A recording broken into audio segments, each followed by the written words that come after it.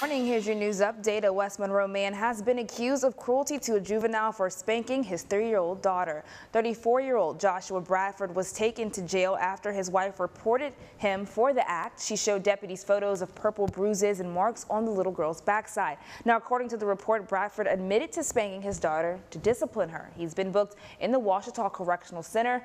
Bradford is being held on a $4,500 bond and a routine traffic stop for the Ouachita Parish Sheriff's Office leads to a drug bust. Now 34-year-old Benjamin Howe and 29-year-old Jeffrey Calkins are behind bars. Deputies say the pair were riding in a green Jeep Saturday night and didn't use a turn signal at a stop sign on North 3rd Street in Monroe. They say the driver kept going and ignored the officer's emergency lights. Soon after, they say someone tossed a black case out of the vehicle before turning into a parking lot on North Grand. When investigators recovered that the case they found three bags of meth and other narcotics. Both denied possession but were taken into custody. Howell and Calkins are each charged with illegal possession with intent to distribute.